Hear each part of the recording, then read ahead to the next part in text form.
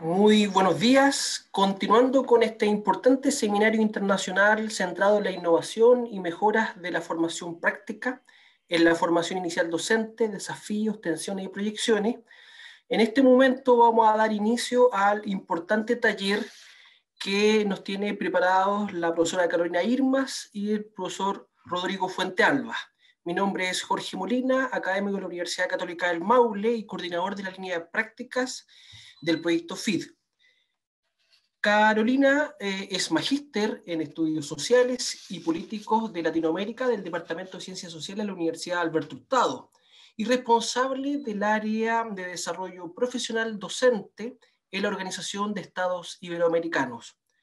Rodrigo, por su parte, es doctor eh, em, en Ciencias de la Educación por la Pontificia Universidad Católica de Chile y actualmente es decano de la Facultad de Educación de la Universidad Autónoma de Chile. Así que le damos la bienvenida a Carolina, a Rodrigo, quien nos presenta esta triada reflexiva para disminuir la brecha entre teoría y práctica. Un abrazo, Rodrigo, Carolina, y bienvenidos a este importante seminario. Muchas gracias. Muy buen día. Buen día. Muchas gracias. Un gusto, un gusto saludarles. Bien, vamos a, compartir pantalla, como ustedes pueden ver. Aquí eh, Carolina y yo vamos a,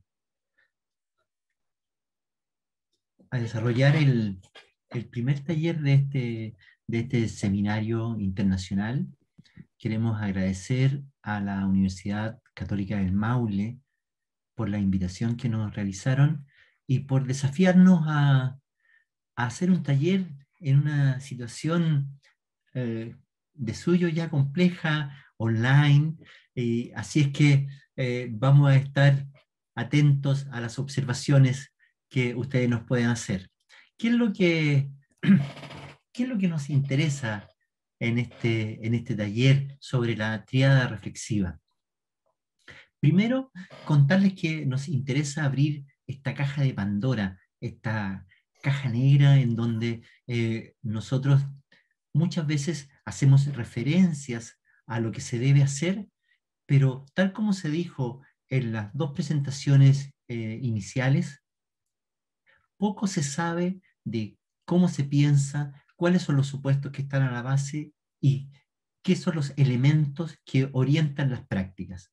Para ello, entonces, le doy el pase a Carolina para que pueda hacernos algunas preguntas y vamos a pedir la colaboración de todos los asistentes.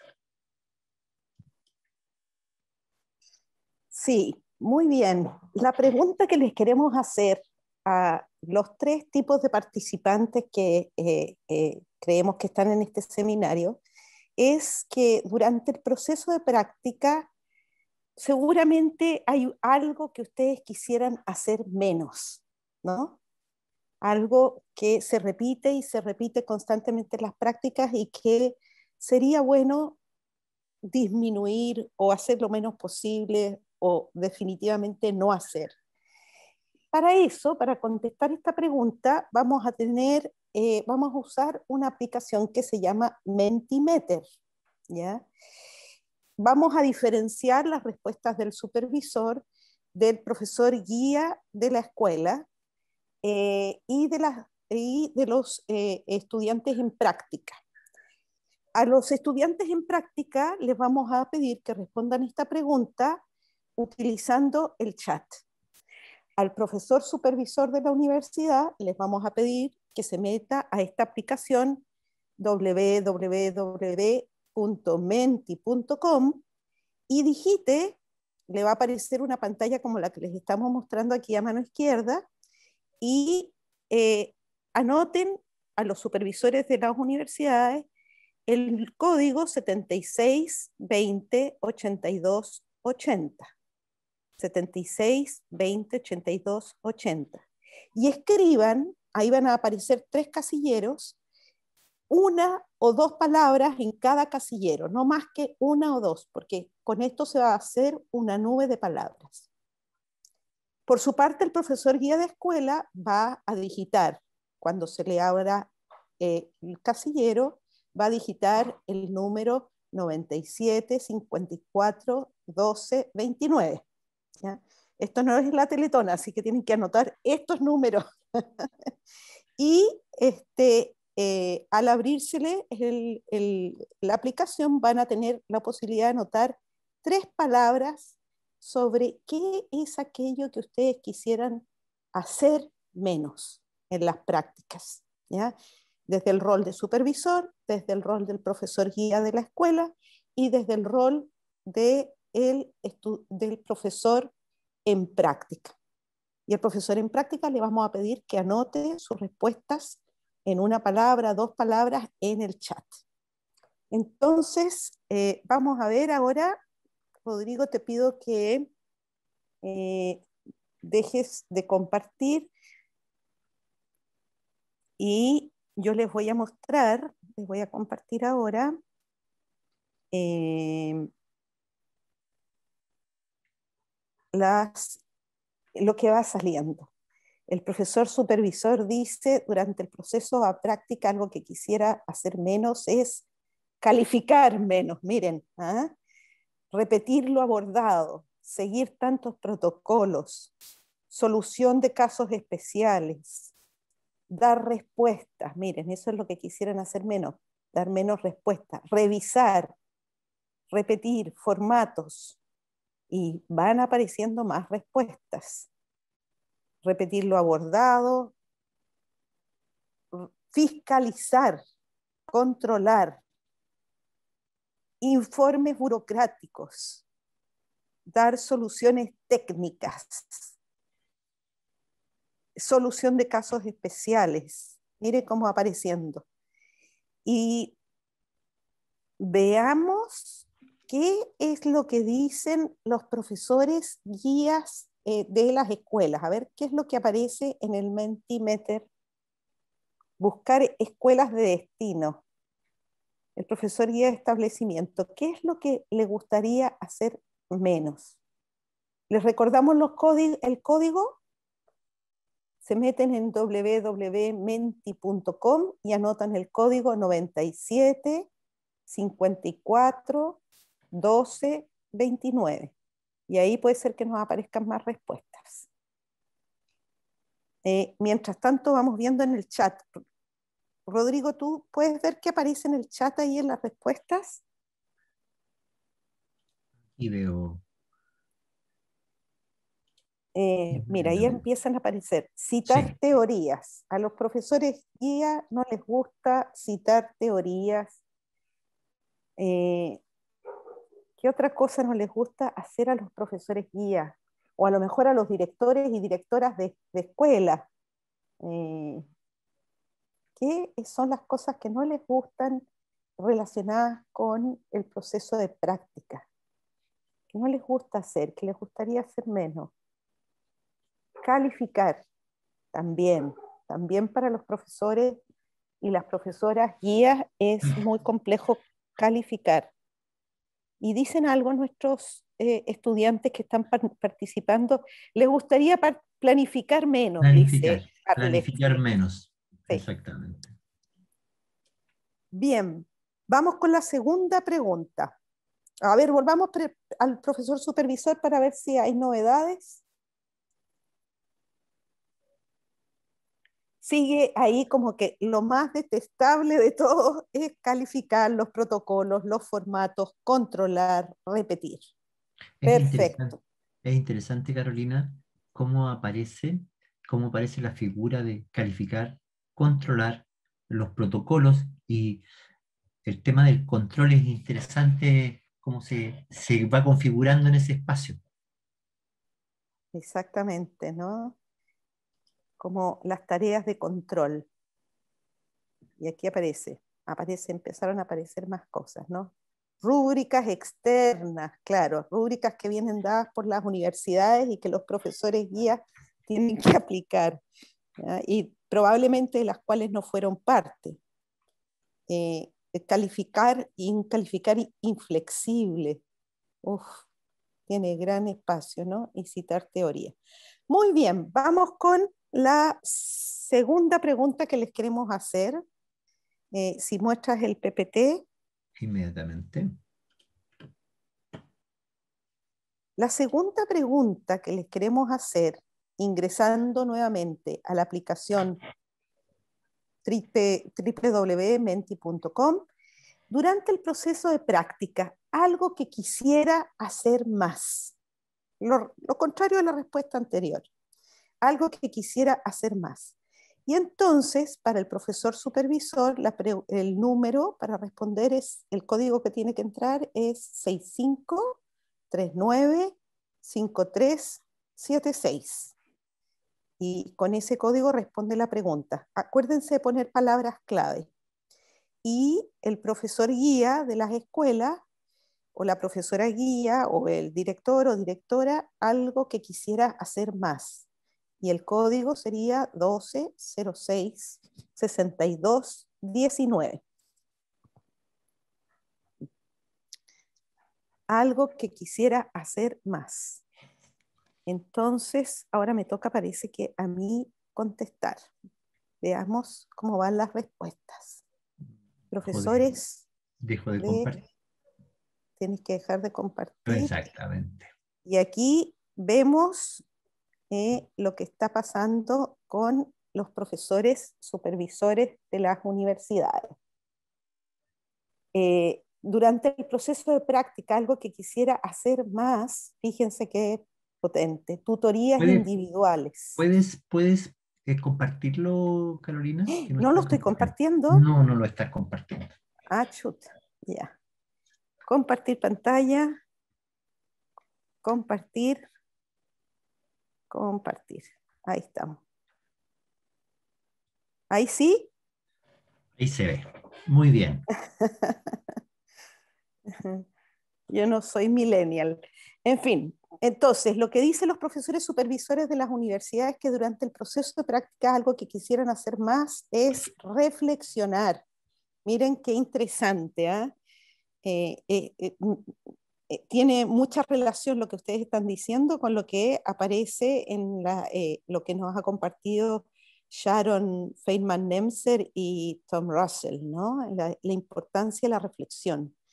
Buenas preguntas, miren cómo crece reflexionar, reflexionar con tiempo además, ¿no? tener ese tiempo que se necesita para poder procesar eh, las experiencias de práctica que se han realizado.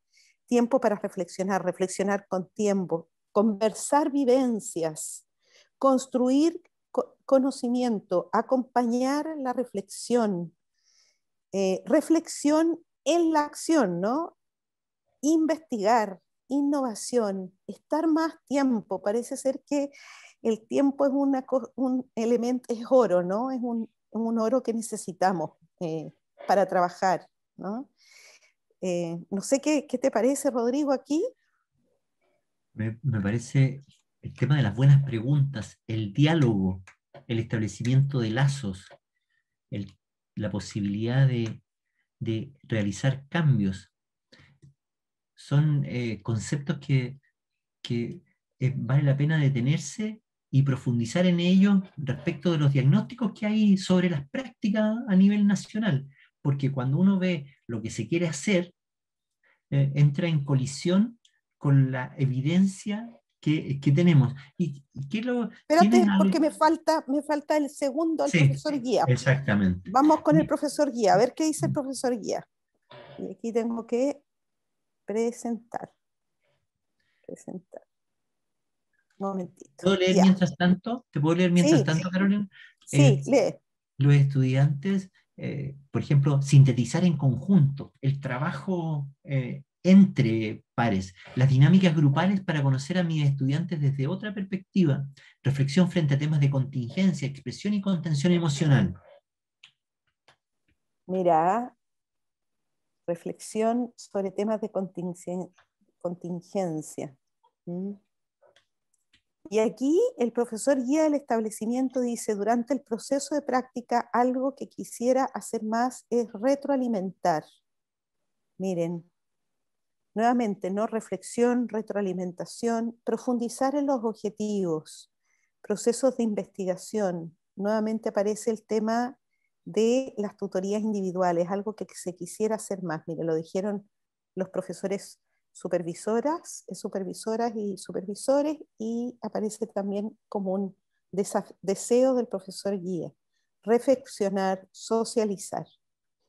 ¿Me puedes repetir, Rodrigo, qué era lo que habían dicho los estudiantes? Eh, los profesores en práctica, quiero decir. En la síntesis en conjunto, más tiempo de interacción en aula con, con estudiantes reales y momentos de reflexión. Salir de la sala de clases, más libertad creativa. Mm, más libertad creativa. Excelente. Bien, entonces seguimos mostrando un poco, vamos a hacer un empalme ahora entre las cosas que aparecieron aquí y algunas evidencias que muestra la investigación. Te doy el pase, Rodrigo, para que compartas pantalla.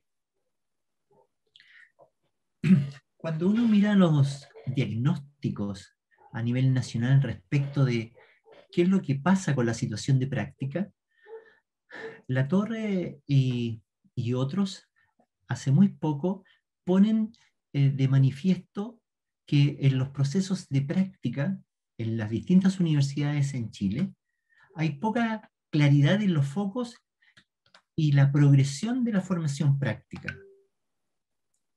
Por otro lado, hay un limitado nivel de participación de los actores que componen esta triada, el profesor supervisor, el profesor eh, guía del establecimiento escolar y el futuro profesor, existiendo además poca claridad respecto de sobre qué se conversa, qué tipo de orientaciones se puede dar. Y la evidencia reporta que hay limitada evidencia sobre la reflexión profunda de la práctica y que tiene consonancia con lo que acaba de aparecer respecto de qué es lo que quisiéramos hacer más. Y por otro lado, se pone de manifiesto el limitado rol y la, disímil formación que tienen los actores, tanto el profesor supervisor de la universidad como el profesor guía del establecimiento escolar a la hora de acompañar al futuro profesor. Esto hace, entre otras cosas, que haya una limitada condición para apoyar algo que nos plantearon desde distintas perspectivas, tanto Sharon como Tom, respecto de cómo apoyamos y cómo se modela la toma de decisiones tanto pedagógicas como didácticas en el proceso eh, de práctica. En ese sentido, entonces, la idea de la generación de espacios de colaboración y de intercambio entre escuela y universidad aparece como una necesidad urgente más allá de lo declarativo, sino que como una instancia de trabajo conjunto entre estos actores.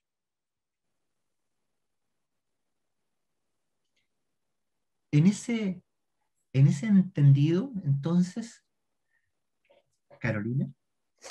Nos gustaría invitarlos a hacer una segunda actividad. Y es que hemos eh, hablado de qué nos gustaría hacer más y qué nos gustaría hacer menos. Y ahora queremos invitarlos a reflexionar y a poner en una frase muy cortita, en, una pizarra que les voy a compartir, eh, cuyo link va a aparecer ahí en el chat para que todos lo copien y ingresen les voy a compartir, eh, queremos compartir y conversar eh, eh, a través de esta pizarra sobre qué cosas se, se, podrían hacer, o sea, cómo se podría facilitar, qué oportunidades se podrían abrir para que estas cosas que queremos hacer más ocurran. ¿Qué cosas habría que cambiar? ¿Qué cosas habría que propiciar, qué cosas habría que instalar para que esto se pudiera hacer más. Entonces ustedes se conectan a la eh, Padlet y Rodrigo, ¿tú me permites compartir pantalla? Ahí está. Ya. Entonces eh, voy a mi pantalla, voy a compartir el Padlet y eh, vamos para acá. Compartir. Mira, aquí empiezan a aparecer eh, las respuestas de las personas. ¿Cómo hacen para poner sus respuestas? Ustedes se fijan que aquí hay un signo más, entonces en ese signo ustedes lo pinchan, ¿ya? Y se les abre un casillero en blanco que es una nota, ¿ya? Y ustedes escriben lo que ustedes creen que sería un facilitador o una oportunidad o un, cambio que habría que hacer para que efectivamente pudiéramos hacer más reflexión, eh, más trabajo conjunto, más retroalimentación, eh, más diálogo, ¿no? ¿Qué otras cosas salieron, Rodrigo?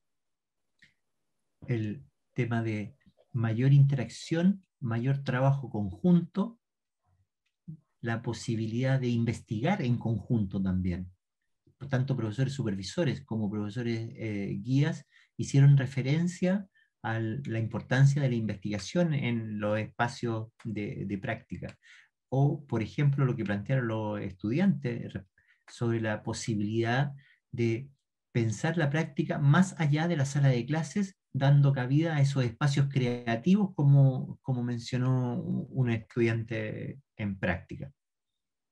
Entonces, la pregunta es, ¿qué podemos hacer para hacer estos deseos que hemos manifestado posibles? ¿Qué podemos hacer? Los invitamos a escribir. Una cosa que ustedes dijeron mucho, y la voy a escribir acá, tiempo asignado em, para la reflexión. ¿No?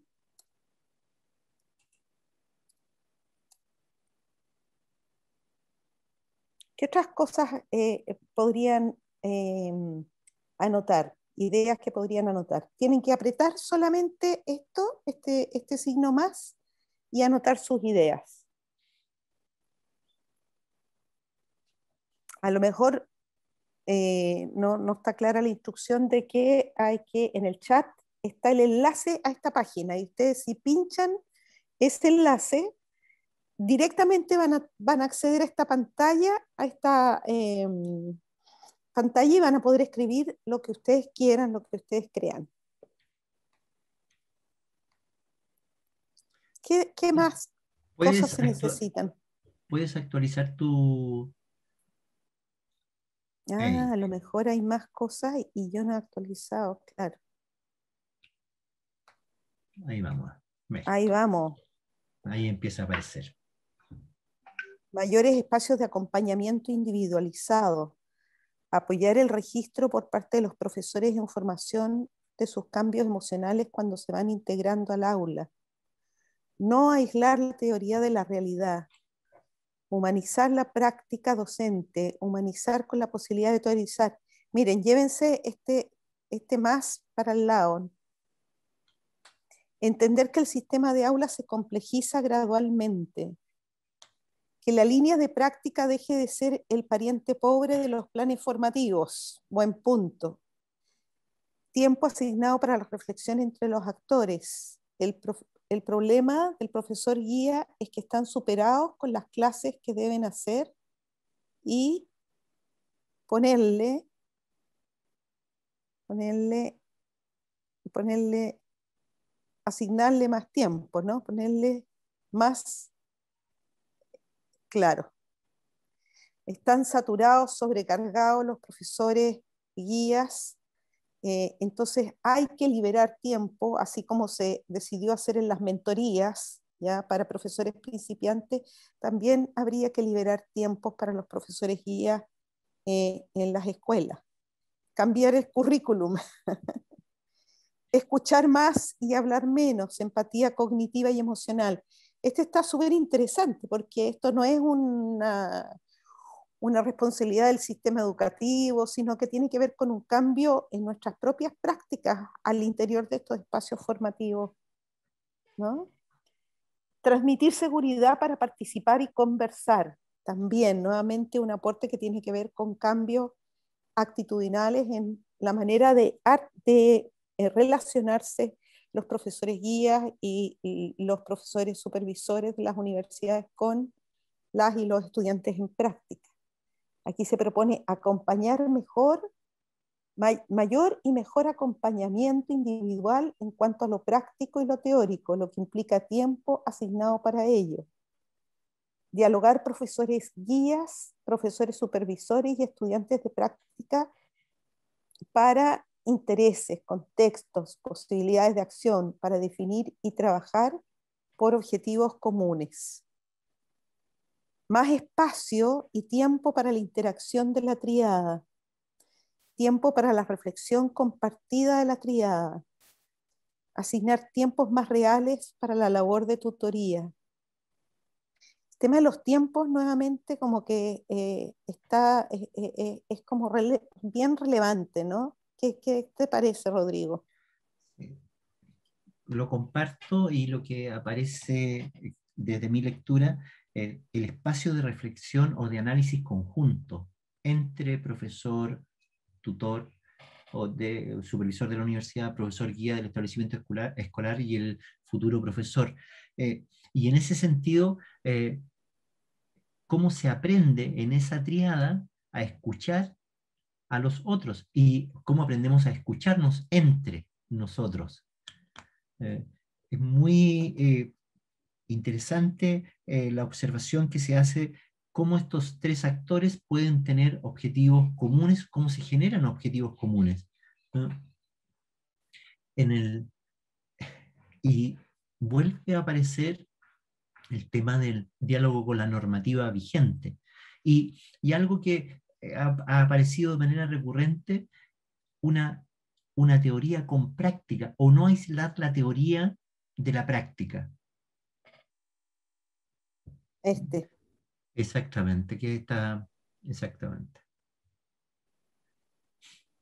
Y eh, desde esa perspectiva, desde esa perspectiva se, se comienza a configurar este espacio que va más allá de la relación diádica que nosotros habitualmente, a la cual estamos habitualmente acostumbrados, que es el profesor supervisor, el que comparte con el estudiante en práctica, o el futuro profesor, y por otra parte, es el futuro profesor que dialoga con el profesor guía.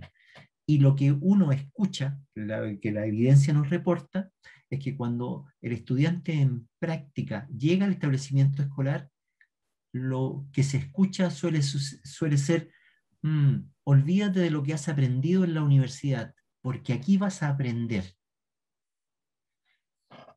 Y cuando ese estudiante llega a la universidad, el tema es, pero desde la universidad se le señala, como lo reporta la evidencia, pero ¿qué es lo que has aprendido tú en la escuela? Así no funciona la, la situación. Teóricamente se aborda desde esta perspectiva.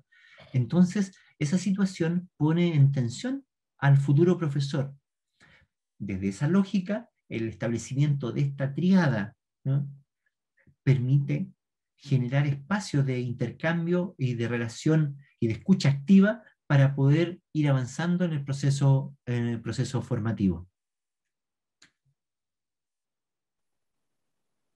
Sí, parece ser que los espacios de reflexión además tienen que también, no solamente individuales, sino que también grupales, son bien, bien importantes, como dice alguien, un anónimo acá, ¿no? Mm. Espacios para eh, poder em, poner, contrastar miradas, ¿ya? ¿Qué es lo que ve uno, qué es lo que ve el otro, ¿no? Eh, y poder tener este panóptico. Así es. Escuchar más y hablar menos. Yo diría que aquí hay, aquí hay tres tipos de factores, ¿no? Los factores que tienen que ver con el cambio de las propias prácticas, las propias maneras de, mm, las propias concepciones, las propias maneras de relacionamiento y en ese sentido, lo que nos compartía Tom de una eh, mirada eh, introspectiva ¿no? sobre mi propio quehacer, sobre lo que me reportan los estudiantes, eh, es fundamental.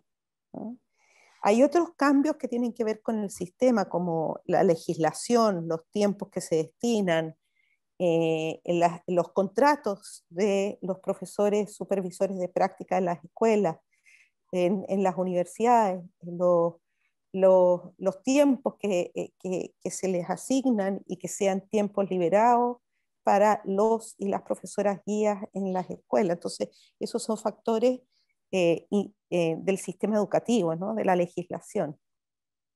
no sé si hay otro tipo de factores que tú identificas, Rodrigo, y ya para ir cerrando. No, yo, yo quisiera, yo quisiera detenerme en, en, el, en, los primeros factores que tú, los más de índole personal, Carolina, por la interpelación a la propia práctica en el entendido que la práctica, y tal como lo señaló Tom previamente, es mucho más que la acción. Y en ese sentido, la oportunidad que tiene el profesor en formación, y tanto el supervisor como el profesor guía, de apoyar y de explicitar cuáles son los supuestos que hay a la base de lo que están señalando, de las orientaciones que están dando, son un elemento central y clave. Y para poder hacerlo, necesariamente tengo que detenerme y estudiar mi propia práctica. Desprivatizar mi, propio, mi propia práctica. Y eso no se puede hacer en solitario, como también eh, se, se ha señalado. Y ahí la figura del amigo crítico, del par que te acompaña, del que puede mirar la práctica del otro y que puede dar recomendaciones y que invita a tomar riesgos para efectuar algún tipo de cambio, cobra una relevancia importante.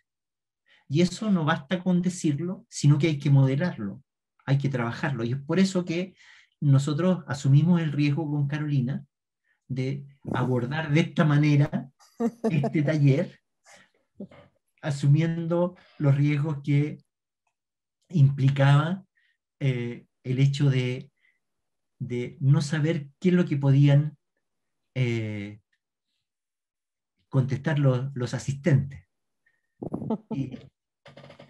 Y, en ese, y, en ese sentido, el tema de enfrentar la, la práctica, ojo, no, no, no solo la práctica profesional, sino que los distintos momentos de práctica que uno tiene a lo largo de la, de la formación.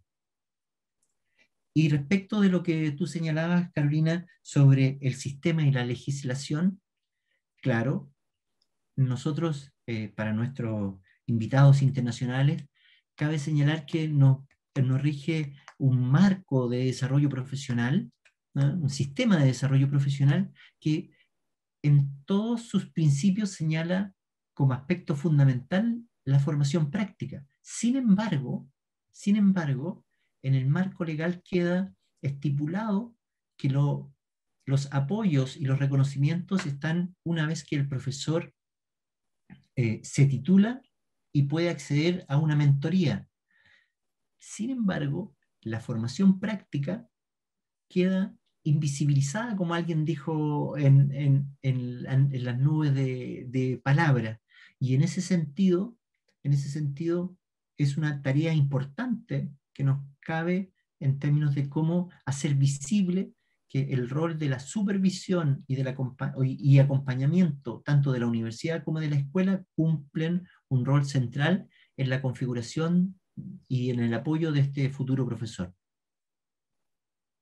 Gracias, Rodrigo. Yo me quedo con un comentario eh, que apareció en, en, el, eh, en, la nube de palabras, que era, me dan rúbricas que tengo que aplicar.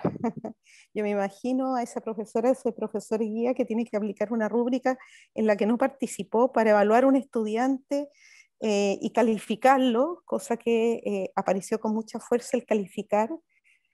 Además, calificar con una con una rúbrica que yo no creé como profesor guía o profesora guía es bien complicado. Entonces yo creo que un tema importante también aquí tiene que ver con avanzar en la implementación de un modelo de práctica que articule una verdadera relación como pares entre la universidad y los centros escolares. Y, que esta relación de pares sea eh, donde ambos ponen sus necesidades, sus inquietudes y sus este, responsabilidades y expectativas eh, sobre la mesa. No que uno es más importante que la otra, ¿no? que sea un modelo de bidireccionalidad y que asegure un proceso de acompañamiento de calidad eh, que, favorezca la creación de estos espacios formativos adecuados que permitan a los profesores eh, en práctica tomar eh, decisiones adecuadas y también a los formadores de las universidades y también a los profesores guías, porque no nos podemos olvidar, y en eso han sido, ha sido muy insistente Tom, y también Sharon, que somos todos aprendices, o sea, somos aprendices permanentes. Yo creo que quienes escogimos la profesión de la educación es porque nos gusta aprender y hacerle honor a esa vocación significa no olvidar nunca que somos siempre aprendices, cualquiera sea el rol eh, que estemos cumpliendo. Si, si, lo, si lo gráfico desde el punto de vista de una pregunta que aparece, cómo generar convergencia y no divergencia entre escuela y universidad, el primer punto de partida tiene que ver con lo que nos plantea Carolina. Saber que sentirnos aprendices, que podemos compartir con otros. Segundo, la pregunta, la pregunta compartida. ¿Qué queremos mejorar? ¿Qué, qué podemos intervenir. Y desde esa perspectiva implica, tal como señalan en, el chat, redimensionar los espacios de práctica para las prácticas. Mm. Implica posicionarnos desde una perspectiva diferente.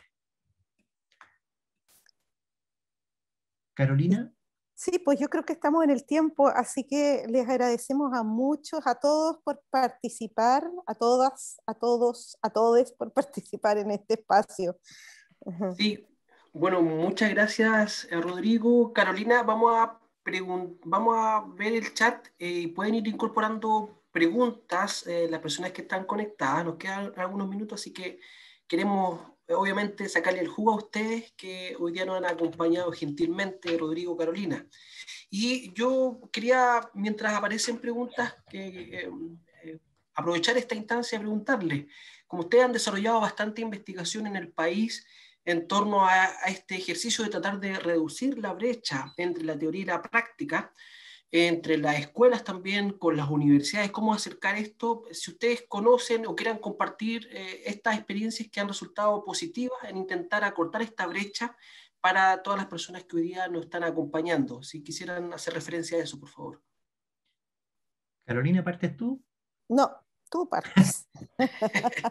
Cuenta lo que hicieron en Pedro Aguirre Cerda. Eh, bueno, eh, en, hemos tenido la oportunidad de desarrollar un proyecto de, trabajo conjunto entre universidad y escuela eh, con una comuna de, la zona de la región metropolitana, en donde eh, el trabajo se basó en un modelo que partió en primer lugar con la generación de confianzas entre las partes, entre la universidad y la escuela. En el entendido de la declaración inicial de que no se quería hacer de la escuela o el laboratorio de la universidad y viceversa, de la, la universidad se abría también a escuchar las necesidades de la, de la escuela. En ese contexto, en ese contexto se reunieron los equipos de práctica de la universidad con los eh, profesores de, esa comuna, de esa comuna en particular, y establecieron un plan de trabajo conjunto en donde los profesores de, de la comuna participaron activamente en la elaboración de las pautas y rúbricas que se, con que se iban a evaluar a los estudiantes. Se incluyó también a los estudiantes en práctica del nivel, a objeto de que todos tuvieran participación desde la génesis de la rúbrica hasta el trabajo eh, compartido y, el momento de la evaluación. Y por otro lado, y por otro lado, los profesores de didáctica de, de la universidad, no sin poca presión en un inicio, eh, tuvieron la oportunidad de ir a mostrar en acción ellos por qué hacían las clases o por qué recomendaban ciertos patrones didácticos al interior de la sala de clases en la universidad. Eso generó una sinergia, un sentido de propósito compartido y esas triadas empezaron a reunirse de manera regular, lo siguen haciendo, y empezó a pasar un fenómeno bien interesante, porque se dieron cuenta que esa triada después podía involucrar a los padres, porque la comuna de, esa comuna, de Santiago, era una comuna que recibía muchos estudiantes migrantes y todo el mundo se sentía con dificultad para el trabajo eh, con la población migrante en ese momento.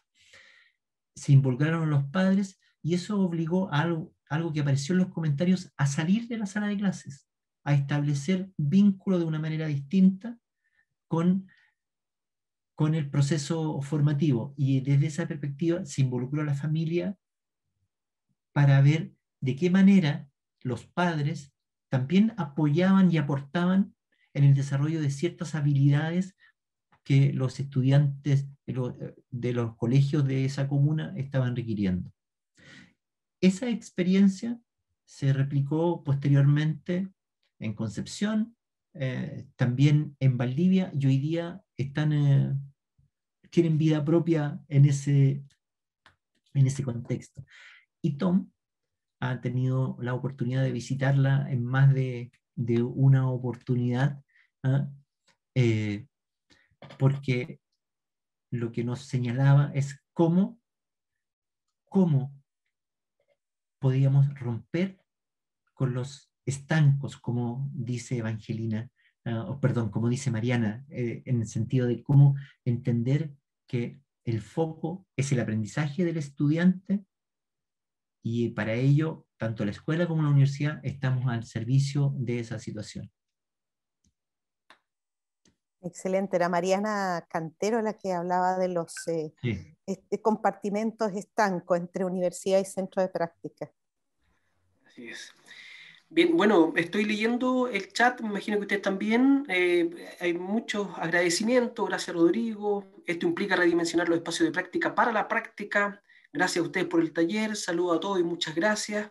Eh, también eh, Lisbeth nos dice, ¿podrían por favor sugerirnos algunos trabajos para profundizar la relación entre el profesor supervisor y el profesor guía, así como entre la relación teoría-práctica?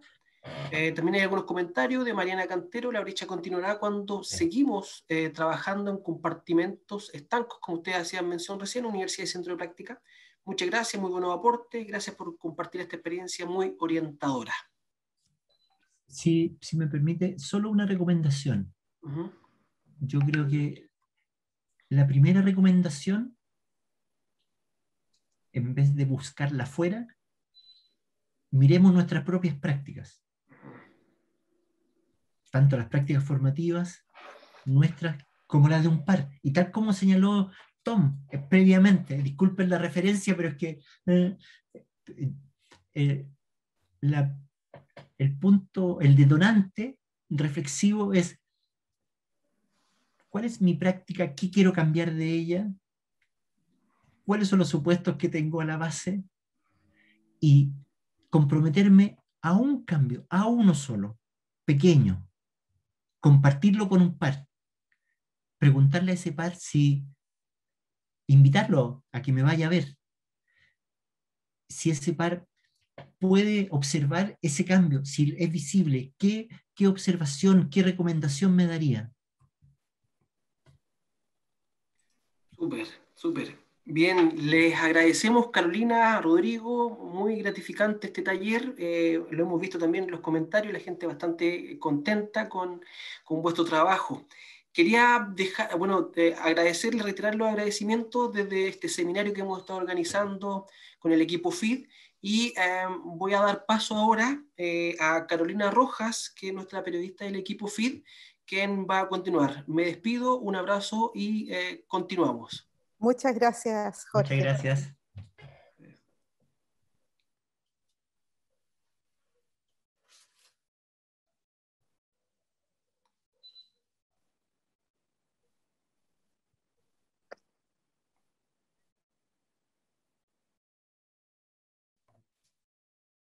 Muchas gracias, eh, Jorge. Nosotros vamos a continuar con este seminario internacional eh, de innovación y mejoras en la formación práctica, desafíos, tensiones y proyecciones. Y, nos vamos a ir a un pequeño receso. Ya estamos eh, continuando entonces con el próximo taller que va a estar muy, muy interesante. Ya regresamos.